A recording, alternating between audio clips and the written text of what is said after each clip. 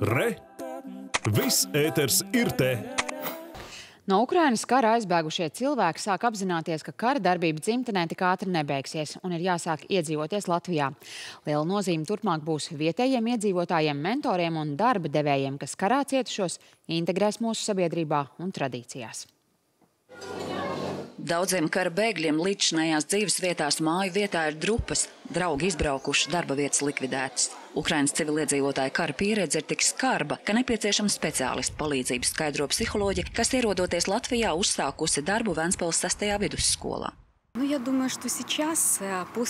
Es domāju, ka šobrīd pēc šoka un pēc agresijas un nepanesamas stadijas ir jāiestājas pieņemšanai, un tas ir pats grūtākais. Pat es kā psiholoģi to vēl nespēju. Es to saprotu, bet nevaru. Cilvēkiem ir ļoti grūti, jo viss cerēja, ka tas ātri beigsies.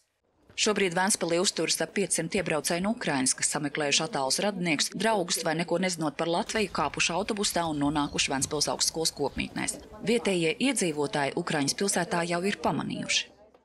Es redzu automašīnas, bet vai ilgi te? Es domāju uz visiem laikiem. Latvijai smaga situācija būs ekonomiska situācija. Es tā domāju. Nu, tas kā no sākuma jāpalīdz saviem, un tad ir tikai citiem. Visā Latvijā Ukrainas civiliedzīvotājiem muzeja šobrīd atvērta bez maksas un ir ienu sastopama Ventspils pilī. Abi dēli ir pieteikušies karā kā brīvprātīgie, un sieviete miera atrod izstādēs.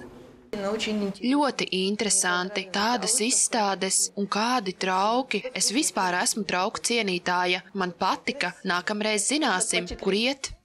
Savukārt Jāna no Bučas bēga ar trīs bērniem un četriem kaķiem. Piedzīvotājs Bučā ir šokējošs. Sieviete ar dzīvību riskēja vairāk kārt. Šobrīd Jana pieteikusies bezpajumtes dzīvnieku glābšanas biedrībā kā brīvprātīgā. Tieši tādu sirds darbu viņa pirms kara ir darījusi Ukrainā.